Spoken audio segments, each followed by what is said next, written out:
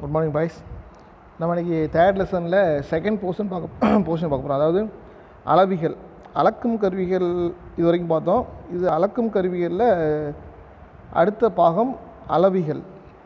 இந்த அளவிகள்னால் என்ன யூசேஜ் அப்படின்னா இந்த அளவிகள் பார்த்திங்க அப்படின்னா ஆய்வு செய்வதற்கு பயன்படுது. அதாவது அளக்கும் கருவிகளில் நம்ம பார்த்தோம் நேரடியாக அளக்கும் கருவிகள் மறைமுகமான அளக்கும் கருவிகள்னு சொல்லி பார்த்தோம். நேரடியாக அளக்கும் கருவிகள் அப்படின்னா அளவுகள் வந்து நேரடியாக என்ன செஞ்சுருக்கோம் கொடுத்துருக்கோம். இப்போ எக்ஸாம்பிளுக்கு ஸ்கேல் அப்படின்னா நேரடியாக அளக்கும் கருவி. நம்ம வந்து ஒரு ஒரு லைன் போடுறோம்னா அது எத்தனை சென்டிமீட்டர் எத்தனை மில்லிமீட்டர்னு சொல்லி என்ன செஞ்சிடலாம். நேரடியாக அளவு என்ன செஞ்சிடலாம் சொல்லிடலாம். மறைமுகமான அளக்கும் கருவினா அந்த மைக்ரோ நம்ம சாதாரண கேலிப்பர் பார்த்தோம். அதாவது ஒரு பொருளுடைய உள்ளளவு வெளியளவு எவ்வளோ இருக்குன்னு சொல்லி நம்ம நிச்சயம் பார்க்கலாம். பார்த்தா அதில் அளவு நிச்சயம் அது கொடுத்துருக்காது. நேராக ஸ்கேலில் வந்து வச்சு அதனுடைய அளவு எவ்வளோன்னு சொல்லி நம்ம நிச்சயம் தெரிஞ்சுக்கலாம். இது வந்து மறைமுகமான அளக்கும் கருவின்னு சொல்லி நினச்சின்னு பார்த்தோம். இப்போ இந்த அளக்கும் கருவிகள்லே அளவிகள் அப்படிங்கிறது அடுத்த ஒரு பாகம். இதில் பார்த்தீங்கன்னா அளவுகள் எதுவுமே நினச்சிருக்காது கொடுத்துருக்காது. ஒப்பிட்டு பார்த்து நம்ம நினச்சிக்கலாம் அதாவது இது வந்து கரெக்டு இது தப்புன்னு சொல்லி சொல்லலாம். ஆய்வு செஞ்சு நினச்சிக்கலாம் சொல்லலாம். அதுக்கு தான் இந்த அளவிகள் நினச்சி தான் பயன்படுத்துகிறாங்க அளவிகளில் நிறைய வகையான அளவிகள் நினச்சது இருக்குது இந்த அளவிகளில் பார்த்தீங்கன்னா கொஸ்டின் எப்படின்னா மொத்தம் ரெண்டே கொஸ்டின் தான் நினச்சிருக்காங்க இதில் பிக் கொஸ்டின் சொல்லி இருக்குது என்ன அப்படின்னா இந்த ஸ்னாப் கேஜ் அப்படின்னு சொல்லி ஒரு அளவி இருக்குது இந்த ஸ்னாப் கேஜை பற்றி படம் வரைஞ்சி எழுதுன்னு சொல்லி ஒரு கொஸ்டின் செய்து இருக்குது அப்புறம் பார்த்திங்கன்னா அளவிகளுக்கும் வ- வடிவத்தட்டுக்கும் இடையே உள்ள வேறுபாடுன்னு சொல்லி இருக்குது ஆனால் அது வந்து சின்ன கொஸ்டின் தான் பெரிய கொஸ்டினில் கேட்டிருக்கு. அதில் ஒரு மூணு பாயிண்ட் தான் இருக்கும். அது வந்து பிக் கொஸ்டின் செஞ்சுருக்காருக்கு இது போக வந்து பார்த்திங்க அப்படின்னா அளவிகளின் வகைகள் என்ன? அளவிகளின் நன்மைகள். அப்புறம் பார்த்திங்கன்னா அளவிகளின்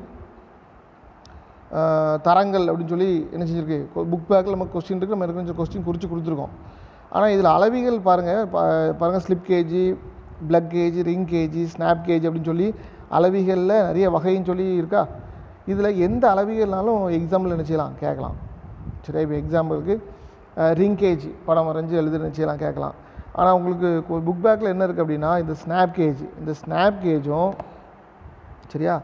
அப்புறம் அளவிகளுக்கும் வடிவத்தகடு வடிவத்தகடுன்னு சொல்லி கடைசியாக ஒன்று இருக்குது அந்த ரெண்டுக்குள்ள வேறுபாடு மட்டும் தான் கொஸ்டினில் புக் பேக்கில் இருக்குது ஆனால் இங்கே பாருங்கள் பத்து வகையான அளவி என்ன இருக்குது இந்த அளவியில் எந்த அளவினாலும் நினச்சிக்கலாம் செய்யலாம் பரீட்சையில் கேட்கலாம். சரியா? இந்த பத்து அளவியை பற்றி நம்ம நினச்சிவோம் பார்ப்போம். நீங்கள் வந்து புக்கில் எழுதும்போது இந்த அளவியல் டாப்பிக்கை ஃபுல்லாகவே என்ன செஞ்சிடும் புக்கில் எழுதிடணும். ஏன்னா எந்த அளவினாலும் பரீட்சையில் நமக்கு நினச்சிக்கலாம் கேட்கலாம். ஸோ படம் இருந்தால் படம் என்ன செஞ்சிடணும் வரைஞ்சிடணும். இந்த அளவிகள் அப்படிங்கிறத ஆரம்பித்து ஒரு ரெண்டு பேஜ் இந்த பாடம் இருக்கும். அந்த ரெண்டு பேஜ் என்ன செஞ்சிடணும்? ஃபுல்லாக நீங்கள் நோட்டில் என்ன செஞ்சிடணும்? அப்படியே எழுதிடணும். சரியா? இப்போ பாருங்கள் அந்த அளவிகளை பற்றி பார்ப்போம். அளவிகள்லாம் என்னன்னு பார்ப்போம். அளவிகள் என்பது ஏற்கனவே தயார் நிலையில் உள்ள அதாவது ரெடிமேடு ரெடிமேடாக உள்ள ஆயத்த அளவு கருவியாகும் அதாவது யாருமே ரெடியாக என்ன செஞ்சுருப்பாங்க? பண்ணி வச்சுருப்பாங்க. இந்த அளவிகளோட யூசேஜ் என்ன அப்படின்னு சொன்னீங்கன்னா இப்போ ஒரு ஒரு உருளை வடிவமான பொருள் இருக்குது அந்த உருளை வடிவமான பொருளுடைய விட்டம் எவ்வளோன்னு நம்ம நினச்சிக்கலாம் வெர்னியர் கலைப்பர் மைக்ரோமீட்டரில் என்ன செய்யலாம்? பார்க்கலாம். சரியா? ஆனால் இந்த அளவியை வச்சு நம்ம எப்படி விட்டம் கண்டுபிடிக்கலாம் அப்படின்னா இப்போ ஒரு ஒரு உருளையான ஜாப் நம்ம ரெடி பண்ணியிருக்கோம்னா ஒரு அளவி ரெடி பண்ணியிருப்பாங்க அந்த அளவி எப்படின்னா துளை உள்ள ஒரு அளவி என்ன செய்யும்? இருக்கும். துளை இருக்கும். இப்போ நீங்கள் வந்து ஒரு பன்னிரெண்டு எம்எம்க்கு வந்து ஒரு விட்டம் உள்ள ஒரு உருளை ரெடி பண்ணியிருக்கீங்க அப்படின்னா அங்கே பன்னிரெண்டு எம்எம்க்கு ஒரு துளை துளை என்ன செஞ்சுருக்கும்? போட்ட ஒரு ஒரு ரவுண்ட் ரிங் மாதிரி ஏதாவது என்ன செய்யும். இருக்கும். சரியா? அந்த தொலையில் நீங்கள் செஞ்ச ஜாப் இருக்குது பார்த்தீங்கன்னா அதை நீங்கள் அந்த தொலையில் சரியாக வச்சிங்க அப்படின்னா அந்த கேஜ் வந்து பன்னிரெண்டு எம்எம் இருக்கும். நீங்கள் செஞ்ச ஜாப் வந்து பன்னிரெண்டு எம்எம் ரெண்டும் ஒன்று போல் உள்ள ஜாயிண்ட் ஆகிடுச்சுன்னா நீங்கள் செஞ்ச ஜாப் வந்து சரி. சரியா? அப்படி அது வந்து சேரல சரியாக சேரல இல்லை அது லூஸாக இருக்குது அப்படின்னா நீங்கள் செஞ்ச ஜாப்பு பன்னிரெண்டு எம்எம் இல்லை. ஒன்று அது குறையாக இருக்குது இல்லைன்னா அதுக்கு கூடுதலாக இருக்குது அப்படின்னு சொல்லி அர்த்தம். சரியா? ஸோ இப்படி ஆய்வு செய்கிறதுக்கு பயன்படுத்துறது தான் அந்த அளவு. இது பல்வேறு வகையான வேலைகளுக்கு இந்த அளவி என்ன செய்கிறாங்க பயன்படுத்துகிறாங்க ஸோ அளவி அப்படிங்கிறது யாருமே ஒரு பொருள் ரெடி பண்ணி வச்சுருப்பாங்க. நம்ம ஒரு பொருள் ரெடி பண்ணுறோம் அந்த ரெண்டு பொருளும் ஜாயிண்ட் ஆக தான் பார்க்குறோம். ஜாயிண்ட் ஆச்சு அப்படின்னா நம்ம செஞ்ச பொருள் வந்து சரி. ஜாயிண்ட் ஆகலை அப்படின்னா நம்ம செஞ்ச பொருள் வந்து தப்பு. இதை கனெக்ட் பண்ணுறதுக்கு தான் அந்த அளவு என்ன செய்கிறாங்க பயன்படுத்துகிறாங்க ஸோ அதான் போடுறாங்க இதன் பயன்படுத்தி பொருட்களின் அளவு வடிவம் ஆகியவை சரியாக உள்ளதா என ஆய்வு செய்யலாம். அளவு சரியாக இருக்கான்னு அளக்க முடியாது. ஆய்வு தான் செய்ய முடியும்? செய்ய முடியும். பாருங்கள் அளவிகள் கலவை உருக்கு உலோகத்தால் செய்யப்பட்டு சூட்டு வினையால் அதாவது ஹீட் ட்ரீட்மெண்ட் சொல்லுவாங்க அது அடுத்த படத்தில் நம்ம படிப்போம். சூட்டு வினையால் குணமாற்றம் செய்து தேவையான துளியத்திற்கு அரைப்பு செய்யப்பட்டிருக்கும். நல்லா ஃபினிஷிங் என்ன செஞ்சுருக்கோம்? செய்யப்பட்டிருக்கும். பல்வேறு வகையான அளவிகள் என்ன செய்திருக்கு? நம்ம நிச்சயம் பின்னாடி பார்ப்போம். பாருங்கள் அளவி அளவிகளின் நன்மைகள் இது ஒரு மூணு மார்க் கொஸ்டின் அளவிகள் பயன்படுத்தினால ஏற்படக்கூடிய நன்மைகள்னு சொல்லி என்ன செய்திருக்கு? விரைவாக எளிதாக சோதிக்கலாம். அதாவது சீக்கிரம் என்ன செய்யலாம் டைமிங் வந்து ரொம்ப கம்மி. நுணுக்கமான கருவிகளை பயன்படுத்துவதை விட அளவிகள் பயன்படுத்தினால் செலவு குறைவு. இப்போ நுணுக்கமான கை கருவிகள்னு சொல்லி எதை சொல்கிறாங்க அப்படின்னா வெர்னிய கலிப்பர் மைக்ரோமீட்டர் தான் சொல்கிறாங்க ஸோ அதில் ரேட்டு கூட இது வந்து ரேட் என்னது? கம்மி. திறமையற்றவர்களும் அளவிகளை பயன்படுத்தி சோதனை செய்யலாம். இப்போ வெர்னிய கலிப்பர் மைக்ரோமீட்டரை வந்து நம்ம நீங்கள் வந்து யூஸ் பண்ணால் கொஞ்சம் அதை வந்து அனுபவசாலிகள் தான் நிச்சயம் பயன்படுத்த முடியும். இந்த அளவிகளை வந்து திறமையற்றவர்களும் என்ன செய்யலாம்? பயன்படுத்தலாம். மேற்பார் மேற்பார்வை பண்ணுறவங்க தேவையில்லை. உற்பத்தி அதிகரிக்கிறது. ஏன்னா வேலை வந்து ரொம்ப குயிக்காக முடிஞ்சிடும் அதனால் சீக்கிரம் நமக்கு உற்பத்தி என்ன செய்யலாம்? செய்யலாம். பாருங்கள் அளவிகளின் தரம். அளவு அளவிகள் கலவை உருக்கால் செய்யப்பட்டு கடினப்படுத்தப்பட்டு பதப்படுத்தப்பட்டிருக்கும் அளவிகள் மூன்று தரங்களில் உருவாக்கப்பட்டிருக்கும் அவைகளான அள- அளவிகளின் தரங்கள்னு சொல்லி கொஸ்டின் இருக்குது சரியா? மூணு அளவிகள் இருக்குது அளவிகளின் தரங்கள் அப்படிங்கிறது மூன்று. பனிமனை அளவி ஆய்வு அளவி அதிநுணுக்க தலைமை அளவி workshop gauge inspection gauge master gauge அப்படின்னு சொல்லி மூணு வகையான அளவிகளை மூன்று வகையாக தரம் செஞ்சுருக்காங்க பிரிச்சிருக்காங்க. பாருங்கள் பனிமனை அளவி. இப்போ இதெல்லாம் கொஸ்டின் இல்லை அளவிகளின் தரம்னு மட்டும் தான் இருக்குது ஆனால் இந்த பனிமனை அளவி ஆய்வு அளவி அதிநுணுக்க தலைமை அளவி அப்படின்னு சொல்லி எக்ஸாமில் என்ன செய்யலாம்? ஏதாவது ஒரு அளவியை சொல்லி என்ன செய்யலாம்? கேட்கலாம் மூணு மார்க் அதனால் இது நீங்கள் என்ன படிச்சு வச்சுக்கோங்க. நோட்டில் எழுதிடுங்க ஸோ பனிமனை அளவினா பாருங்கள் இது பனிமனைகளில் குறைந்த நுணுக்கத்துடன் உருவாக்கப்பட்ட பொருட்களை சோதனை செய்ய உதவுகிறது. குறைஞ்ச நுணுக்கம் உள்ள பொருட்களை சோதனை செய்ய இது பயன்படுது. இதன் மூலம் பாயிண்ட் ஜீரோ ஜீரோ ஒன் அல்லது point zero two five millimetre வரை துல்லியமாக சோதனை செய்யலாம். அதாவது zero point zero zero one அல்லது point zero zero two five millimetre வரைக்கும் என்ன செய்யலாம்? இதில் சோதனை செய்யலாம். இது workshop gauge inspection gauge ஆய்வு அளவுன்னு என்னென்னு பாருங்கள் ஆய்வு அளவிகள் என்பது பனிமலைகளில் பயன்படுத்தவும் நுணுக்கமான அளவிகளை சோதனை செய்யவும். அதாவது அளவிகளை சோதனை செய்யவும் இது என்ன செய்கிறாங்க பயன்படுத்துகிறாங்க திறமை மிக்கவர்கள் கையாளவும் உருவாக்கப்பட்டதாகும். இதில் point zero zero zero one millimetre முதல் point zero zero two five millimetre வரை துல்லியமாக என்ன செய்யலாம்? அளக்கலாம். இது ஆய்வு அளவி. அப்புறம் பாருங்கள் மாஸ்டர் கேஜ் அதி நுணுக்க தலைமை அளவி. இவ்வகையான அளவிகள் பனிமனை அளவிகள் மற்றும் ஆய்வு அளவிகள் இரண்டையும் சோதனை செய்ய உதவுகிறது. அந்த ரெண்டு அளவுகளையும் சோதனை செய்ய அந்த ரெண்டு அளவுகளும் சரியாக இருக்கான்னு சோதனை செய்ய இந்த அளவியை பயன்படுத்துகிறாங்க மேலும் மிக மிக துல்லியமான கருவிகளை ஆய்வு செய்யவும் அதாவது point zero zero zero zero one millimetre முதல் point zero zero zero two five millimetre வரை துல்லியமாக அளக்கவும் இல்லை. ஆய்வு செய்ய இந்த அளவிகள் நினச்சிறாங்க பயன்படுத்துகிறாங்க ஸோ இந்த மூணு வகையான அளவிகளை பார்த்துக்கோங்க. இந்த மூணு வகை அளவிகள் ஏதாவது ஒரு அளவிகள் கொஸ்டின் நினச்சிவாங்க எக்ஸாமில் கேட்பாங்க. பராமரிச்சு வச்சுருங்க படிச்சிருங்க புக் பேக்கில் இல்லை.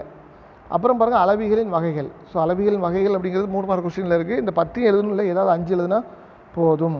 அளவிகள் என்பது அதன் வரையறை நுணுக்கம் வடிவம் ஆகியவற்றிற்கு ஏற்ப கீழ்கண்டவாறு வகைப்படுத்தப்படுகிறது. பாருங்கள் slip gauge plug gauge ring gauge snap gauge limit gauge radials gauge fillet gauge depth gauge telescopic gauge template gauge இப்படி பல வகையான அளவுகள் என்ன செய்யுது இருக்குது இதில் நம்ம ஒவ்வொன்றா நினச்சி போகிறோம் பார்க்க போகிறோம். சிலதுக்கு படம் இருக்கும் சிலதுக்கு படம் நினச்சியாது இருக்காது.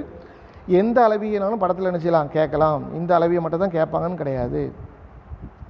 ஃபஸ்ட்டு பாருங்கள் ஸ்லிப் கேஜ் இந்த ஸ்லிப் கேஜ் யாருனே நம்ம வந்து அளக்கும் கருவியில் என்ன செஞ்சோம் பார்த்தோம் சைன் பாரில் வந்து இந்த ஸ்லிப் கேஜ் நினச்சிடறாங்க. அதாவது ஸ்லிப் கேஜ் அப்படிங்கிற வேற இல்லை. செவ்வகம் அல்லது சதுர வடிவாக துண்டு துண்டான செய்யும் இருக்கும். நல்லா பொறிப்பணி செய்யப்பட்டிருக்கும் நல்லா ஃபினிஷிங் செய்யப்பட்ட துண்டு துண்டான நினச்சி ஹாலோ என்ன சொல்கிறது சதுரம் செவ்வகம் இந்த மாதிரி ஒரு தனி பிளாக் மாதிரி என்ன செய்யும்? இருக்கும். இதுக்கு தான் ஸ்லிப் கேஜின்னு பேர். சரியா? இப்போ ஒரு செங்கல் இருக்குன்னு வச்சுக்கோங்களேன் இந்த செங்கலை வந்து நல்லா ஃபினிஷிங் பண்ணப்பட்டு எப்படி இருக்கும்? அது அதே போல் இது என்ன செய்யும்? இருக்கும். இது ஒரு பாக்ஸ்குள்ளே என்ன செஞ்சுருப்பாங்க? வச்சுருப்பாங்க. பார்ப்போமா? பாருங்கள் இது சைன் பார் டயல்டஸ் இண்டிகேட்டர் போன்ற கருவிகளின் உதவியுடன் கொடுக்கப்பட்ட பனிப்பொருளின் சரிவு அளவை காண உதவுகிறது. அதாவது சரிவு அளவை அளக்கிறதுக்கு இது பயன்படுத்தல. ஆனால் அதை சரிவு அளவை அளக்கிறதுக்கு இது ஹெல்ப் பண்ணுறதுக்கு என்ன செய்கிறாங்க பயன்படுத்துகிறாங்க ஸ்லிப் கேஜுக்கு இன்னொரு பேர் இருக்குது கேஜி பிளாக் அண்டர்லைன் பண்ணிக்கோங்க. கே ஒன் வேர்டில் கேட்பாங்க. ஸ்லிப் கேஜுக்கு இன்னொரு பேர் கேஜ் பிளாக் பாருங்கள் இது அதிவேக எக்கு உலோகத்தால் செய்யப்பட்டு சிறிது துண்டுகளாக வேண்டிய அளவிற்கு உருவாக்கப்பட்டு பின்பு சூட்டு வினை மூலம் குணமாற்றம் செய்யப்பட்டு அரைப்பு லேப்பிங் போன்ற முறைகளில் துல்லியமாக இயந்திர பணி செய்யப்பட்டு இதன் பயன்படுத்திய பிறகு அதற்கென்ற உள்ள பெட்டியில் பாதுகாப்பாக வேண்டும் இந்த கேஜ் வந்து பார்த்திங்கன்னா ஒரு பாக்ஸ் மாதிரி நிச்சயம் இருக்கும். அந்த பாக்ஸ்க்குள்ளே இந்த கேஜ் நினச்சி சின்ன சின்ன துண்டு. ஒவ்வொரு துண்டுக்கும் அளவு நினைச்சிருப்பாங்க மேலே போட்டிருப்பாங்க. இது இத்தனை எம்எம் இது இவ்வளோ எம்எம்னு சொல்லி அளவு போட்டிருப்பாங்க. சதுரம் அல்லது செவ்வக வடிவத்தில் துண்டு துண்டாக நிச்சயம் இருக்கும். வேலையை முடிச்ச அப்புறம் அந்த பாக்ஸ்குள்ளே என்ன செஞ்சிடணும் வச்சிடணும். இது எதுக்கு பயன்படுத்துகிறாங்கன்னா மெயினாக சைன் பாரு டயல் டெஸ்ட் இண்டிகேட்டர் போன்ற கருவிகளில் நம்ம வந்து கோணத்தை அளக்கும்போது அந்த சரிவை அளக்கிறதுக்கு இந்த கேஜ் பிளாக்கை பயன்படுத்துகிறாங்க புரியுதா? அது நம்ம சைன் பாரில் என்ன செஞ்சோம்? பார்த்தோம். எந்த இடத்துல பயன்படுத்துறதுன்னு சொல்லி என்ன செஞ்சோம் பார்த்தோம். இது இந்த ஸ்லிப் கேஜ் கேஜ் பிளாக்குடைய யூசேஜ் அடுத்தது பாருங்கள் ரேடியஸ் கேஜ் ரேடியஸ் கேஜ்னால் பனிப்பொருளின் வெளி ஆரத்தை அளக்க உதவும் கருவிக்கு ரேடியஸ் கேஜ்னு பேர் அந்த ரேடியஸ் கேஜில் பாருங்கள் அளவு கொடுத்துருப்பாங்க பார்த்தீங்களா? அதில் வந்து பார்த்தீங்கன்னா ஒரு மில்லிமீட்டர்லேருந்து ஏழு மில்லிமீட்டர் வரைக்கும் நிச்சயிப்பாங்க கொடுத்துருப்பாங்க இந்த ரேடியஸ் கேஜ் பார்த்தீங்கன்னா ஒன்று ஹாஃப் ரவுண்டாக இருக்கும். அப்படி இல்லாட்டினா ரவுண்டாக செய்யும்? இருக்கும். சரியா? இந்த ஹாஃப் ரவுண்டை வச்சு நம்ம என்ன செஞ்சிடலாம் அப்படின்னா ஒரு பொருளுடைய வெளி ஆரத்தை அதாவது அந்த வெளி ஆரம் எவ்வளோ இருக்குது அப்படின்னு சொல்லி நம்ம என்ன செஞ்சிடலாம். இப்போ வெர்னியர் கலிப்பர் மைக்ரோமீட்டர் வச்சு நம்ம நினச்சலாம் வெளியளவை நினச்சலாம் அளக்கலாம். சப்போஸ் வெர்னியல் வெளியளவும் மைக்ரோமீட்டர் வெர்னியர் கலிப்பர் இல்லாத இடத்துல இந்த கேஜ் நமக்கு இருந்துச்சு அப்படின்னா இந்த கேஜ் மூலமாக நம்ம அந்த பொருளுடைய வெளி அளவு எவ்வளோ இருக்குது அப்படின்னு சொல்லி பார்த்துடலாம். எப்படி பார்க்கலாம் அப்படின்னா பாருங்கள் இந்த கேஜுடைய ஹாஃப் ரவுண்டு மாதிரி இருக்கா? இந்த ஹாஃப் ரவுண்டை வந்து நம்ம செஞ்சு வச்சுருக்க பொருளுடைய வெளியில் ஆரத்தில் சொல்லி வச்சோன்னா எது சரியாக மேட்ச் ஆகுதோ. அந்த மேட்ச் ஆகிற அளவு எவ்வளோன்னு சொல்லி இந்த கேஜில் என்ன செஞ்சுருப்பாங்க போட்டிருப்பாங்க. இப்போ எக்ஸாம்பிளுக்கு பார்த்தீங்க அப்படின்னா இப்போ எயிட் எம்எம் கேஜ் வந்து அதில் மேட்ச் ஆகுதுன்னா இதனுடைய வெளி ஆரம் எயிட் எம்எம் அப்படின்னு நம்ம நினச்சிடலாம் கண்டுபிடிச்சிடலாம். சரியா? அப்புறம் ஒவ்வொரு கேஜும் நம்ம நினச்சி வச்சு வச்சு பார்க்கணும். இப்போ நீங்கள் அது யூடியூப்பில் போய் பார்த்தீங்கன்னா புரியும். ரேடியஸ் கேஜின்னு சொல்லி அடித்து பார்த்தீங்கன்னா யூடியூப்பில் இப்போ அதை அழகாக போட்டிருப்பாங்க. இது எதில் மேட்ச் ஆகுது அப்படி அப்போ அந்த மேட்ச் ஆகிற கேஜ் எந்த ரீடிங் காமிக்குதோ அப்போ இந்த பொருளுடைய வெளியளவு இவ்வளோ எம்எம் நம்ம என்ன செஞ்சிடலாம்? கண்டுபிடிச்சிடலாம். ஸோ இது ரேடியஸ் கேஜ் இதுக்கு பயன்படுத்துகிறாங்க பனிப்பொருளின் வெளியாரத்தை அளக்க உதவும் கருவிக்கு ரேடியஸ் கேஜ் என்று பெயர். இதனை அளக்கும் முனைப்பகுதியானது குளிந்த முகப்பு உடையதாக குளிந்த அல்லது குவிந்த ரெண்டாக நிச்சயம் இருக்கும். ஸோ ஒரு சைடு குளிந்த இருக்கும் ஒரு சைடு குவிந்த முகப்பு நிச்சயம் இருக்கும். ஸோ இதுக்கு இந்த ரேடியஸ் கேஜ் பயன்படுத்துகிறாங்க அப்புறம் டெப்த் கேஜ் துளையின் ஆழத்தை அளக்கிறதுக்கு பயன்படுத்தக்கூடிய கேஜ் இப்போ நம்ம துளையின் ஆழத்தை வந்து ஆழம் அளக்கும் மைக்ரோமீட்டர் மூலமாக அல்லது வெர்னியர் கலிப்பர் மூலமாக என்ன செய்யலாம்? நம்ம அளக்கலாம். வெர்னியர் கலிப்பரில் பின்னாடி நிப்பு நம்ம ஒரு தகடு என்ன செய்து இருக்குது இதன் மூலம் ஆழத்தை என்ன செய்யலாம்? அளக்கலாம். ஆழம் அளக்கும் மைக்ரோமீட்டர் செஞ்சோம் பார்த்தோம். சரியா? ஸோ இது வந்து டெப்த் கேஜ் அப்படின்னா ஆழம் அளக்கும் இந்த மைக்ரோமீட்டரோ அல்லது இந்த வெர்னியர் கலிப்பரோ இல்லாத இடத்துல இந்த டெப்த் கேஜ் நம்மகிட்ட இருந்தால் ஆழம் எவ்வளோன்னு நினச்சிக்கலாம் ஈஸியாக கண்டுபிடிச்சலாம் அது அளவுகள் நினச்சிருப்பாங்கன்னா நம்ம வந்து ரீடிங் எடுக்க முடியாது. இந்த டெப்த் கேஜில் இவ்வளோ டெப்த்துக்குன்னு சொல்லி என்ன செஞ்சுருப்பாங்க? அந்த கேஜ் இருக்கும். அந்த கேஜை நம்ம யூஸ் பண்ணி யூஸ் பண்ணி எந்த கேஜ் சரியாக மேட்ச் ஆகுதோ அப்போ அந்த இது இந்த பொருளுடைய ஆழம் வந்து இவ்வளோ அப்படின்னு நம்ம என்ன செஞ்சிடலாம்? கண்டுபிடிச்சிடலாம். துளை பள்ளம் ஆகியவற்றின் ஆழத்தை அளக்கவும் ஆய்வு செய்யவும் உதவும் கருவிக்கு டெப்த் கேஜின் பேர். பாருங்கள் இதில் பாயிண்ட் ஃபைவ் மில்லிமீட்டர் துல்லியமாக அளவுகளை அளக்கலாம். மிக துல்லியமாக அளக்க தேவையான போது வெர்னியர் ஆழ அளவி அல்லது டெப்த் மைக்ரோமீட்டர் போன்ற கருவிகளை என்ன செய்யலாம்? பயன்படுத்தலாம். சரியா? இதனால் பாயிண்ட் ஃபைவ் மில்லிமீட்டர் துல்லியமாக தான் நினச்ச முடியும். ஆழத்தை எவ்வளோ ஆழம் இருக்குன்னு நம்ம நினச்ச முடியும் கணக்கு செய்ய முடியும். இதோட துல்லியமாக அளக்கணும் அப்படின்னா நம்ம வெர்னியர் ஆழ அளவு வெர்னியர் காலிப்பரையும் ஆழம் அளக்கும் மைக்ரோமீட்டரையும் நம்ம என்ன செஞ்சிடணும் கொண்டு ஆழத்தை நினச்சியில் அளக்கலாம். அடுத்தது பிறகு லிமிட் கேஜ் இதுக்கெல்லாம் படம் இல்லை சரியா? அதனால் தேரியை மட்டும் மூணு மார்க்கில் கேட்டால் எழுதிடலாம். பனிப்பொருள் ஒரு குறிப்பிட்ட அளவிற்குள் உள்ளதா என சோதனை செய்யும் கருவிக்கு லிமிட் கேஜ் என்று பெயர். Plug gauge ring gauge snap gauge ஆகிய மூன்றும் லிமிட் கேஜ் வகையைச் சேர்ந்தது. இந்த plug gauge ring gauge snap கேஜுக்கெலாம் படம் இருக்குது ஸோ இந்த லிமிட் கேஜுக்கு படம் வந்து நீங்கள் வேணும் அப்படின்னா அந்த கேஜில் ஏதாவது ஒரு படத்தை தூக்கி இதில் நினச்சிக்கலாம் போடலாம். ஒரு பொருள் வந்து அது தேவையான லி அளவுக்குள்ளே இருக்குதான்னு செக் பண்ணுறதுக்கு இந்த லிமிட் கேஜ் நினச்சிறாங்க பயன்படுத்துகிறாங்க அப்புறம் பிளக் கேஜ் பாருங்கள் இதுதான் பிளக் கேஜ் இது நீங்கள் யூடியூப்பில் பிளக் கேஜ் நினச்சி பார்த்தா தெரியும் எப்படி யூஸ் பண்ணுறாங்க அப்படிங்கிறத நம்ம நினச்சிலாம் பார்க்கலாம். நம்ம ஸ்கூலில் நினச்சிலாம் இதை வந்து நீங்கள் நேரடியாக நினச்சிலாம் பார்க்கலாம். பாருங்கள் பிளக்கேஜ் இதான் பிளக்கேஜ் அதாவது பார்த்தீங்க அப்படின்னா ஒரு பொருளுடைய டயமீட்டர் சரியாக இருக்கான்னு பார்க்குறதுக்கு இந்த இதை என்ன செய்கிறாங்க பயன்படுத்துகிறாங்க பாருங்கள் இதில் பாருங்கள் கோ நோ கோன்னு சொல்லியிருக்கு. இப்போ இந்த கோ அப்படிங்கிறது சரியான அளவு நீங்கள் வந்து எந்த ஒரு பொருளில் வந்து ஒரு பொருள் வந்து இருபத்தஞ்சி எம்எம் நம்ம வந்து தயார் பண்ணியிருக்கோம் அப்படின்னா அந்த பொருள் இருபத்தஞ்சி எம்எம் இருக்கான்னு பார்க்குறதுக்கு இந்த பிளக்கேஜ் நம்ம நினச்சிலாம் பயன்படுத்தலாம். எப்படின்னா ஒரு பக்கம் கோ இந்த கோ அப்படிங்கிறது பார்த்தீங்கன்னா இருபத்தஞ்சி மில்லிமீட்டர் நிச்சயம் இருக்கும் இந்த நோகோ இருக்குது பார்த்தீங்களா இந்த நோகோ அப்படிங்கிறது கூடுதலாக நிச்சயம் இருக்கும் அதாவது ஒரு ஒரு எம்எம் கூடுதலாக இல்லை ரெண்டு எம்எம் கூடுதலாக நிச்சயம் இருக்கும் நீங்கள் இப்போ ஒரு பொருளை இருபத்தஞ்சி எம்எம்க்கு நீங்கள் ஒரு தயார் பண்ணியிருக்க அப்படின்னா இந்த கோ அப்படிங்கிற பகுதிக்குள்ளே வந்து அந்த பொருள் போச்சு அப்படின்னா சரி. நோகோ அப்படிங்கிற பகுதிக்குள்ளே அந்த பொருள் போச்சுன்னா தப்பு. அப்படி நீங்கள் செஞ்ச ஜாப் தப்புன்னு அர்த்தம். சரியா? ஸோ இதையும் நம்ம என்ன செய்யலாம்? யூடியூப்பில் போய் என்ன செய்யலாம்? பார்க்கலாம். நீங்கள் நேரடியாக என்ன செய்யலாம்? பார்க்கலாம். பாருங்கள் இது துளையின் விட்டம் சரியாக உள்ளதா என ஆய்வு செய்ய ஒரு துளையை நீங்கள் ரெடி பண்ணியிருக்கீங்கன்னா அந்த தொலைக்குள்ளே இந்த கேஜை நீங்கள் விட்டீங்க அப்படின்னா அந்த தொலை சரியான கோ அப்படிங்கிற இதில் மட்டும் போச்சு அப்படின்னா சரியான அளவு. நோகோ அப்படிங்கிற அளவுக்குள்ளேயும் போச்சுன்னா அந்த துளையின் விட்டம் வந்து தப்பு அப்படின்னு சொல்லி அர்த்தம். சரி தப்புன்னு மட்டும் தான் சொல்ல முடியும். எவ்வளோ சரி எவ்வளோ தப்புன்னு நினச்ச முடியாது சொல்ல முடியாது. இவற்றில் இரண்டு வகைகள் உள்ளன. பாருங்கள் முதல் வகை பிளக்கேஜில் உருளை வடிவ தண்டின் ஒரு பக்கம் போ என்ற அளவும் மறுபக்கம் போகாதே என்ற அதாவது நோகோ என்ற அளவு முறையும் உருவாக்கப்பட்டிருக்கும். பனிப்பொருள் போ என்ற பக்கம் நுழைந்தால் அது சரியான அளவு என்றும் போகாதே என்ற பக்கம் நுழைந்தால் சரியான அளவு இல்லை என்றும் பொருள். இரண்டாவது வகை செருக அளவில் போ போகாத என்ற இரு அளவு முனைகளும் ஒரே பக்கத்தில் நினச்சி இருக்கும். இதில் பார்த்தீங்கன்னா ரெண்டு பக்கத்தில் ஒரு பக்கம் போகும் ஒரு பக்கம் போகாதுன்னு இருக்கும். அதில் பார்த்தீங்கன்னா ஒரே பக்கத்தில் போ அப்படின்னு ஒரு பக்கத்தில் போகாதுன்னு நிச்சயம் இருக்கும். அந்த படத்தை நிச்சயம் நம்ம அடுத்து பார்ப்போம். ஸோ இது வந்து சரியா? இது வந்து என்னது? பிளக் கேஜ் அடுத்து பாருங்கள் ரிங் கேஜ் ரிங் கேஜ் அப்படிங்கிறது பாருங்கள் இந்த மாதிரி நிச்சயம் இருக்கும். ஒரு ரிங் நிச்சயம் இருக்கும். இந்த ரிங்கில் வந்து ஃபஸ்ட்டு நம்ம வந்து பார்த்தோம் ஒரு இதில் மோ இது இதுக்கு முன்னாடி பார்த்ததில் பார்த்தா பார்த்தா என்ன அப்படின்னா தொலை போட்டால் ஒரு தொலைன்னு விட்டோம். சரியாக இருக்கான்னு பார்த்தோம். இங்கே அப்படி இல்லை. இதில் எப்படின்னா ஒரு த்ரெட்டு சரியா? ஒரு த்ரெட்டுடைய டயமீட்ரு சரியாக இருக்கான்னு பார்க்குறதுக்கு இது என்ன செய்கிறாங்க பயன்படுத்துகிற ரிங்கேஜ் சரியா? பாருங்கள் ரிங்கேஜ் என்பது உருளை வடிவமான பொருளின் விட்டத்தை சோதனை செய்ய ஒரு உருளை வடிவமான ஷாஃப்ட்டை சோதனை செய்யறதுக்கு இது என்ன செய்து பயன்படுத்துது. அதே போல தான் இது மையத்தில் குறிப்பிட்ட துளையுடைய கருவியாகும். மையத்தில் தொலை நிச்சயம் இருக்கும். இதன் வெளி சுற்றில் பிடிப்பதற்கு நர்லிங் செய்யப்பட்டிருக்கும். இருக்கா நர்லிங் செய்யப்பட்டிருக்க வெளிப்பகுதியில் இதான் நர்லிங் நினைச்சாங்க சொல்கிறாங்க இவற்றில் இரண்டு இதுலேயும் ரெண்டு பக்கம் இருக்குது ஒரு ஒன்றில் போன்னு சொல்லி முகப்பு மற்றொன்றில் போகாத அப்படிங்கிற முகப்பும் நிச்சயம் இருக்கும். போ அப்படிங்கிற முகப்பு சரியான அளவும் போகாது அப்படிங்கிற முகப்பு தப்பான அளவு நிச்சயம் இருக்கும். சரியான அளவுள்ள முகப்பில் இந்த நம்ம செஞ்ச ஜாப் வந்து போச்சு அப்படின்னா சரி.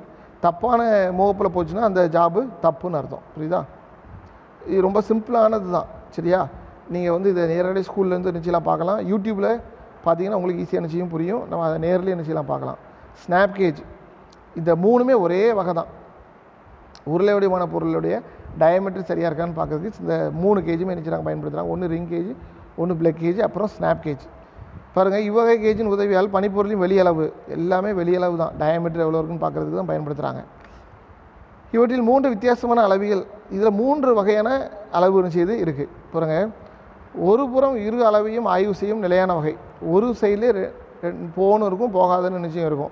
அப்புறம் பாருங்கள் மாற்றி அமைக்கும் வரை அப்புறம் இருபுறம் ஆய்வு செய்யும். ரெண்டு பக்கமும் நிச்சயம் ஆய்வு செய்யலாம். பாருங்கள் இது வந்து ஃபஸ்ட்டு ஒரு ப- பக்கத்திலே கோவும் இருக்கும் நோகவும் இருக்கும். இன்னொன்று பாருங்கள் ரெண்டு பக்கத்தில் நம்ம என்ன அளக்கலாம். இன்னொன்று இது மாற்றி நடுவில் இருக்க மாற்றி அமைக்கும் வகை. மாற்றி அமைக்கும் வகை அப்படின்னா இந்த டயமீட்டர் என்ன செஞ்சுக்கலாம்? மாற்றி அமைந்து பிளாக் கலரில் இருக்குது பார்த்தீங்களா? இதை அட்ஜஸ்ட் பண்ணி டயமீட்டர் நம்ம என்ன செஞ்சுக்கலாம்? மாற்றிக்கலாம் சரியா? இது மூணு வகை. நிலையான வகை. இதில் போகின்ற முறையும் போகாது என்ற முறையும் நிலையாக இருக்கும். விரைவாக பணிப்பொருட்களை ஆய்வு செய்து இக்கருவி பயன்படுகிறது. அடுத்து மாற்றி அமைக்கும் வரை. இவ்வகை அருவி ஒரு பக்கத்தில் இரண்டு நிலையான ஆன்வில் ஆன்வில் அப்படிங்கிறது தான் நம்ம மாற்றக்கூடியது. அதாவது அந்த டயமீட்டர் நிச்சயலாம் மாற்றி வச்சுக்கலாம். அந்த ஆன்விலை வந்து அட்ஜஸ்ட் பண்ணி டயமீட்டர் மாற்றிக்கலாம் எதிர்ப்பக்கத்தில் மாற்றி அமைக்கக்கூடிய இரண்டு ஆன்வில் பொருத்தப்பட்டுள்ளது. அளக்க வேண்டிய பொருளின் அளவிற்கேற்ப மாற்றி அமைத்து ஆன்விலை சரி செய்து கொள்ளலாம். பார்த்தீங்கன்னா இந்த நடுவில் அதாவது ஆன்விலுங்காங்க இந்த ரெண்டையும் மாற்றி அமைத்து ஸ்க்ரூ இந்த ஸ்க்ரூ போது இருக்கா அதை வச்சுலாம் மாட்டிக்கலாம். ஒரு பக்கம் கோனும் ஒரு பக்கம் நோ கோன்னு இருக்கும். இதில் நம்ம நினச்சலாம் உருளை வடிவமான பொருளை வச்சு அளவு சரியாக இருக்கான்னு நம்ம என்ன ஆய்வு செஞ்சுக்கலாம். இருபுறம் ஆய்வு செய்யும் முறை. இவற்றில் இருபுறம் ஆய்வு செய்வதற்கேற்ப ஒரு பக்கம் போ என்றும் மறுபக்கம் போகாது என்றும் இருக்கும். இதனுள் விரைவாக பணிப்பொருட்களை நுழைத்து ஆய்வு செய்யலாம். இதெல்லாம் நீங்கள் நேரடியாக வந்து பார்க்கும்போது உங்களுக்கு ஈஸியாக இருக்கும். யூடியூப்பில் அடித்து பாருங்கள் உங்களுக்கு அதை எப்படி வேலை செய்கிறாங்க எப்படி அளவை வந்து இது மூலமாக ஆய்வு செய்கிறாங்க அப்படிங்கிறது உங்களுக்கு நிச்சயம் தெளிவாக இருக்கும். அப்புறம் பிளேட் மட்டும் ஒயர் கேஜ் இதில் பார்த்தீங்கன்னா தெரியும் உங்களுக்கு. தொலை தொலையாக இருக்குது அந்த தொலையில் ஃபுல்லாக பார்த்தீங்க அப்படின்னா ஒவ்வொரு அளவு கொடுத்துருக்காங்க. அந்த தொலையில் வந்து ஏதாவது ஒயர் இல்லாட்டினா ஏதாவது சின்ன உருளை வடிவமான பொருளை இதில் உள்ளே அமைக்காச்சுன்னா போதும். அந்த பொருள் எவ்வளோ டயமீட்டர் அப்படிங்கிறது என்ன செஞ்சிடலாம் கண்டுபிடிச்சிடலாம். எந்த டயமீட்டரில் இது கரெக்டாக அந்த ஒயரோ இல்லைன்னா உருளையான பொருள் சேருதோ அப்போ அந்த ஒயருடைய டயமீட்டர் எவ்வளோ திக்னஸ் எவ்வளோ இல்லைன்னா அந்த ஜாபுடைய திக்னஸ் எவ்வளோ நம்ம என்ன செய்யலாம் ஈஸியாக சொல்லிடலாம். இது வந்து வெர்னிய கழிப்பர் மைக்ரோமீட்டர் இல்லாத இடத்துல இந்த கேஜை என்ன செய்கிறாங்க பயன்படுத்துகிறாங்க யாருனாலும் என்ன செய்யலாம் ஈஸியாக பயன்படுத்தலாம். வெர்னிய கழிப்பர் மைக்ரோமீட்டரை வந்து கொஞ்சம் ரீடிங் எடுக்க கொஞ்சம் கஷ்டமாக இருக்கும். இதில் ரீடிங் எடுக்க ரொம்ப ஈஸி அதனால தான் இந்த கேஜ் என்ன செய்கிறாங்க பயன்படுத்துகிறாங்க இது ஒர்க் ஷாப்பில் என்ன செய்வாங்க? அடிக்கடி பயன்படுத்துவாங்க. இதை பார்த்தாலே உங்களுக்கு தெரியுது. சின்ன சின்ன தொலையாக இருக்கா? இது வந்து உருளையாக இருக்கா? ஸோ அதில் அளவு கொடுத்துருக்கா? அப்போ அந்த எந்த தொலையில் அந்த ஊரில் சேருதோ நம்ம ஜாப் வந்து சேருதோ அப்போ அந்த உருளையுடைய அளவு எவ்வளோன்னு நம்ம என்ன செஞ்சிடலாம்? ஏழு எம்எம்மா எட்டு எம்எம்மா ஒம்பது எம்எம்மா அப்படிங்கிறத நம்ம செஞ்சிடலாம்? ஈஸியாக கண்டுபிடிச்சிடலாம். பாருங்கள் உலோகத்தகட்டின் தடிமண்ணை ஒரு உலோகத்தினுடைய திக்னஸ் தடிமண்ணுக்கான இந்த கேஜ் என்ன பயன்படுத்துகிறாங்க மற்றும் சிறு கம்பிகளின் விட்டம் காண அந்த ஒயர் கேஜ் சின்ன கம்பியுடைய விட்டத்தை காண இதை பயன்படுத்துகிறாங்க இந்த gauge point two three millimetre முதல் மூணு மில்லிமீட்டர் வரை உள்ள தகடுகளை அளக்கவும் பாயிண்ட் ஒன் மில்லிமீட்டர் முதல் பத்து மில்லிமீட்டர் வரை உள்ள கம்பிகளின் விட்டத்தை அளக்கவும் இது என்ன இந்த பிளேட் கேஜை பயன்படுத்துகிறாங்க அடுத்தது பாருங்கள் ஃபீலர் கேஜ் இந்த ஃபீலர் கேஜ் வந்து ஒர்க் ஷாப்பில் பயன்படுத்துவாங்க. இன்ஜினுடைய வால்வு செக் பண்ணுறதுக்கு இப்போ இன்ஜினுடைய வால்வு பார்த்தீங்க அப்படின்னா ஒரு வால்வு வந்து ஒரு கேப் இருக்கும் அடுத்த வால்வு அடுத்த கேப் இருக்கும். அதில் வந்து பார்த்தீங்கன்னா நீங்கள் வந்து வெர்னிய கழிப்புற மைக்ரோமீட்டர் உள்ளே என்ன செய்யாது போகாது. ஸோ இந்த வால்வு ஈஸியாக என்ன செய்யும்? உள்ளே போகும். இந்த வால்வு பார்த்தீங்களா ஒன்று ரெண்டு மூணு பாயிண்ட் ஜீரோ நைன் அப்படின்னு இருக்குது ஒவ்வொரு திக்னஸ் என்ன செய்யும்? இருக்கும். பிளேடு போல் வந்து கொஞ்சம் தகடான திக்னஸ் வரைக்கும் இந்த கேஜ் என்ன இருக்கும். இப்போ இன்ஜினில் உள்ள வால்வு பார்த்தீங்கன்னா ஒரு சில வால்வு அதிகமாக திறந்துருக்கணும் ஒரு சில வால்வு ரொம்ப குறைவாக என்ன இருக்கும் திறந்துருக்கும். அப்போ இந்த வால்வு மேலே பார்த்தீங்க அப்படின்னா ஒரு ஸ்க்ரூ நிச்சயம் இருக்கும். ஸோ அந்த கேஜை உள்ளே நீங்கள் அந்த வால்வுக்குள்ளே வச்சுட்டு அந்த மேலே உள்ள ஸ்க்ரூவை நீங்கள் லாக் பண்ணியாச்சு இல்லை ஓப்பன் பண்ணியாச்சுன்னா அந்த கேஜுக்கு ஏற்ற மாதிரி அந்த வால்வு என்ன ஓப்பன் ஆகும் க்ளோஸ் ஆகும். ஸோ அந்த இடத்துல இந்த வால்வு எவ்வளோ கேப் ஓப்பன் ஆகும் ஓப்பனாக இருக்கணும் அப்படிங்கிறத இந்த ஃபீலர் கேஜ் மூலமாக நம்ம என்ன செஞ்சிடலாம் இந்த ஃபீலர் கேஜை பயன்படுத்தி வால்வுடைய அந்த கேப்பை நம்ம என்ன செஞ்சிடலாம்? எவ்வளோ க்ளோஸ் ஆகிருக்கணும் எவ்வளோ ஓப்பன் ஆகிருக்குங்கிறத நம்ம என்ன செஞ்சிடலாம்? செக் பண்ணிடலாம். இது இந்த கார் வச்சுருக்கவங்கலாம் மோஸ்ட்லி தெரிஞ்சு நம்ம ஒர்க் ஷாப்பில் பார்க்கும்போது தெரிஞ்சிருப்பீங்க. பாருங்கள் ஃபீலர் கேஜை பயன்படுத்தி பொருத்தப்பட்ட இரண்டு பொருட்களுக்கிடையே உள்ள சிறிய இடைவெளி சின்ன இடைவெளின்னு போகிறோம் அந்த வால்வு வந்து அந்த இன்ஜினில் வந்து என்ன செய்யும்? அது க்ளோஸ் ஆகிற க்ளோஸ் ஆகாது. சின்ன கேப்லேருந்து பெரிய கேப் வரைக்கும் இருக்கும். அந்த கேப்பை செக் பண்ணுறதுக்கு இந்த வால்வு என்ன செய்கிறாங்க இந்த ஃபீலர் கேஜை பயன்படுத்துகிறாங்க இவை மெல்லிய தகட்டுக்குள் வெவ்வேறு அளவுகள் வெவ்வேறு அளவுகளில் உருவாக்கப்பட்டு ஒரு கூட்டுக்குள் வைக்கப்பட்டிருக்கும். தகடுகளின் தடிமன் பாயிண்ட் ஜீரோ த்ரீ மில்லிமீட்டர் முதல் ஒரு மில்லிமீட்டர் வரை என்ன செய்யும்? காணப்படும். ஒரு மில்லிமீட்டர் கூட என்ன செய்யும்? இருக்கும். திக்னஸ் இருக்கும். இதை ஃபீலர் கேஜ்னு நினச்சிடும் சொல்கிறோம் அப்புறம் பாருங்கள் டெலஸ்கோபிக் கேஜ் இதுக்கு படம் இல்லை. கேட்டால் எழுதிக்கோங்க. இதில் இதில் இரு கால் பகுதியும் ஒரு கைப்பிடியும் இருக்கும். அதாவது காலும் இருக்கும் ஒரு கைப்பிடியும் நிச்சயம் இருக்கும். இதன் மூலம் உள் விட்டத்தை விரைவாக நிச்சயம் அளக்கலாம். அதாவது ஒரு துளையின் விட்டத்தை நிச்சயம் அளக்கிறதுக்கு இந்த கேஜ் நிச்சயமாக பயன்படுத்துகிறாங்க அதிகபட்சமாக பரிமி ப பன்னிரெண்டு மில்லிமீட்டர் முதல் இப்போ நூற்றம்பது மில்லிமீட்டர் வரை அளக்கக்கூடிய டெலஸ்கோபிக் கேஜ் பரவலாக பயன்படுத்தப்படுகிறது. இதனை உள்ளளவு கழிப்பர் போல நிச்சயம் அதாவது உள்ளளவு கழிப்பர் சரியா? உள்ளளவு வெளியளவுன்னு சொல்லி பார்த்தோம்ல அதே போல் அந்த கேலிப்பருக்கு பதிலாக இது என்ன அந்த கேலிப்பர் இல்லாத நேரத்தில் யூஸ் பண்ணிக்கலாம். பனிப்பொருளை அளந்த பின்னர் அந்த அளவை வெளியளவு மைக்ரோமீட்டர் மூலம் துல்லியமாக அளந்து சரியான அளவை தெரிந்து கொள்ளலாம். அதாவது இதில் அளவு இருக்காது. நீங்கள் எவ்வளோ அளவு இருக்குன்னு சொல்லி பார்க்குறதுக்கு இந்த மைக்ரோமீட்டரில் போய் என்ன செஞ்சுக்கலாம்? வச்சு ரீடிங் என்ன செஞ்சுக்கலாம்? பார்த்துக்கலாம். இது இந்த டெலஸ்கோபிக் கேஜ் அடுத்தது பாருங்கள் வடிவத்தகடு இந்த கேஜுக்கும் வடிவத்தகடுக்கும் ஒரு வித்தியாசம் இருக்குது வடிவத்தகடை பற்றி டெம்ப்ளேட்பாங்க அதாவது மாதிரி உருவம் தயார் பண்ணி தயார் பண்ணியிருப்பாங்க. அந்த டெம்ப்ளேட் மேட்ச் பிளேட்மாங்க தெரியுமா? மாதிரி உருவம் தயார் அந்த மாதிரி உருவத்தை வச்சு இன்னொரு பொருள் என்ன செய்கிறாங்க தயார் பண்ணுறாங்க இதுக்கு தான் வடிவத்தகடுன்னு பேர். இப்போ இப்போ நம்ம இதில் ஒரு வடிவம் இருக்கா? இந்த வடிவத்துக்கு இன்னொரு பொருள் நம்ம என்ன செஞ்சிடலாம்? தயார் பண்ணலாம். அதுக்கு இது அச்சு மாதிரி என்ன செய்கிறாங்க இதை பயன்படுத்துகிறாங்க ஸோ இதுக்கு வடிவத்தகடுன்னு பார்ப்பாங்க வடிவத்தகடு என்பது ஒரே மாதிரியான பொருட்களை ஏராளமான அளவில் உற்பத்தி செய்யும்போது அதே வடிவத்தில் அதே அளவில் மெல்லிய எக்கு தகட்டில் மாதிரி உருவம் தயார் எக்கு தகட்டில் மாதிரி உருவம் நினச்சிருப்பாங்க தயார் பண்ணப்பட்டு இருக்கும். இதை கொண்டு செய்து முடிக்கப்பட்ட பணிப்பொருளின் வடிவத்தையும் அளவையும் விரைவாக நினச்சிடலாம் குறைஞ்ச நேரத்தில் நினச்சிடலாம் இப்போ ஒரு பொருள் தயார் பண்ண பிறகு இந்த பொருள் அது மேலே மேட்ச் பண்ணி நினச்சிடலாம் செஞ்சிடலாம்? மேட்ச் பிளேட் அப்படின்னு சொல்லுவாங்க. அதே போல் இந்த பொருள் இருந்துச்சு அப்படின்னா அந்த பொருள் சரி அப்படின்னு நம்ம செஞ்சிடலாம்? கண்டுபிடிச்சிடலாம். பாருங்கள் இதனோட முக்கோணத்தின் அளவு நாற்பத்தஞ்சு டிகிரி. இதில் பாருங்கள் இருபது ரேடியஸ் உள்ள ஒரு ஆஃப் ரவுண்ட் அடித்து கொடுத்துருவாங்க ஸோ நம்ம தயார் பண்ணுற பொருள் இதில் மேட்ச் ஆச்சு அப்படின்னா இந்த பொருள் த சரி அப்படிங்கிறது இந்த வடிவத்தேடு மூலம் நம்ம என்ன செய்யலாம்? கண்டுபிடிச்சிடலாம். அப்புறம் பாருங்கள் வடிவத்தேடுக்கும் அளவிக்குள்ள வேறுபாடு இது ஒரு பத்து மார்க்கில் புக் பேக்கில் இருக்குது சரியா? பத்து மார்க்கில் கேட்காங்கலாம் இல்லை இல்லை. பத்து மார்க்கில் கேட்டால் ஈஸியாக நீங்கள் நினச்சிக்கலாம் அந்த நாலு பாயிண்ட் எழுதுனா போதும் பத்து மார்க்கு அல்லாட்டினா அஞ்சு மார்க்கில் நினச்சிக்கலாம் கேட்கலாம். ஃபஸ்ட்டு பாருங்கள் அளவிகள். இது கலவை உருக்கினால் செய்யப்பட்டிருக்கும் விலை அதிகம். ஃபஸ்ட்டு பாயிண்ட்டு அளவிக்கு வந்து பார்த்தீங்கன்னா இது கலவை உருக்கினால் செய்யப்பட்டிருக்கும் விலை அதிகம். வடிவு தகடு பாருங்கள் இது மெல்லிய எக்கு தகட்டினால் செய்யப்பட்டிருக்கும். விலை வந்து குறைவு. மெல்லிய எக்கு தகட்டினால் செய்யப்பட்டிருக்கும். இதனுடைய விலை வந்து பார்த்திங்கன்னா குறைவு. அடுத்து இது பாருங்கள் சூடான பனிப்பொருட்கள் மீது பயன்படுத்துவதில்லை. அளவிகள் வந்து சூடான பொருட்களில் பயன்படுத்துவதில்லை. ஆனால் அங்கே பாருங்கள் எல்லா பொருட்களையும் நினச்சலாம். சூடான பொருட்களையும் நினச்சலாம். இதை பயன்படுத்தலாம். சரியான அளவை சோதிக்க உதவுகிறது. அளவிகள் வந்து சரியான அளவை சோதிக்க உதவுது.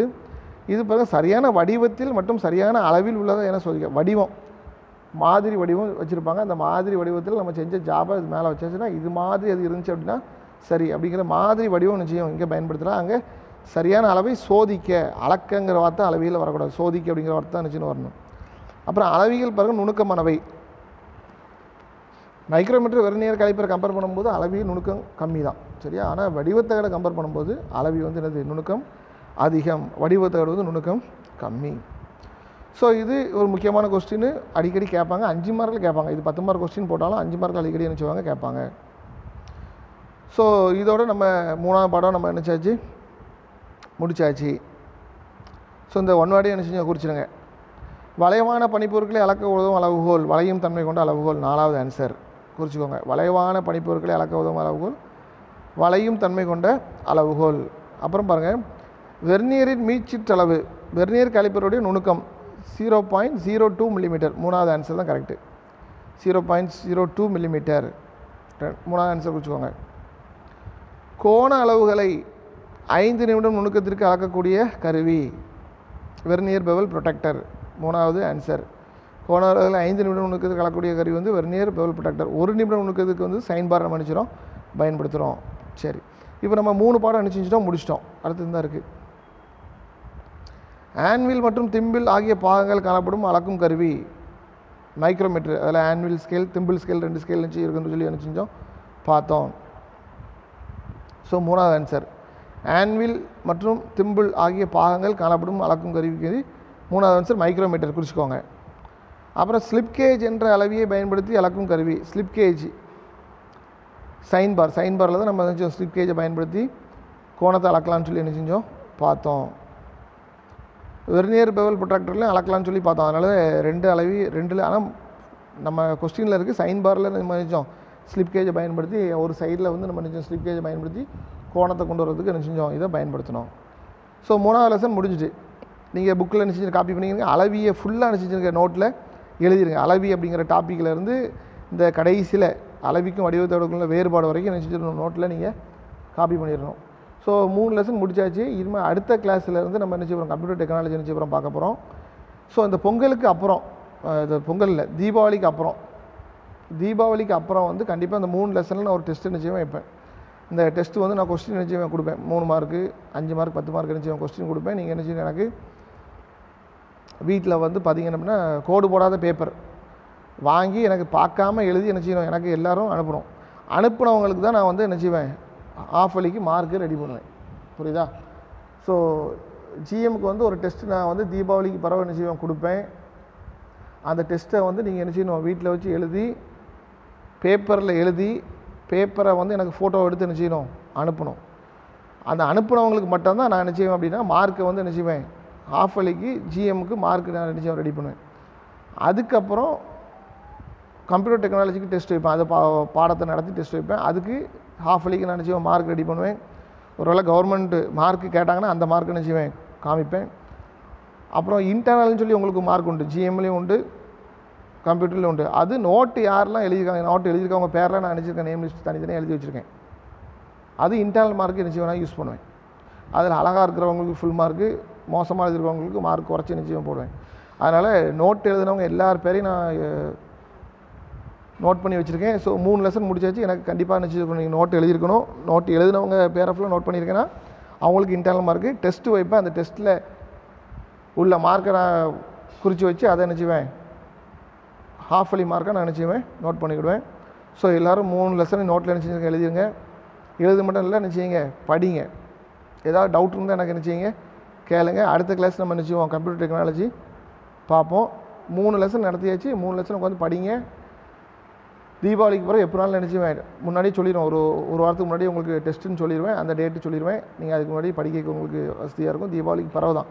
தீபாவளிலாம் முடிஞ்சு ஒரு ஒரு வாரம் கழிச்சு தான் உங்களுக்கு. சரியா? ஸோ அதனால் அந்த மார்க்கை நான் ஹாஃப் அலி மார்க்காக என்ன செய்வேன்? எடுத்துக்கிடுவேன். அதனால் எல்லோரும் நோட்டையும் எழுதுங்க. டெஸ்ட்டுக்கும் நினச்சிங்க ரெடியாங்க மூணு லெசன் நினச்சிவேன். வைப்பேன். அதுக்கு ரெடியாக நினச்சிங்க வாங்க. மற்ற நம்ம அடுத்த கிளாஸில் என்ன செய்யலாம்? பார்ப்போம். Thank you bye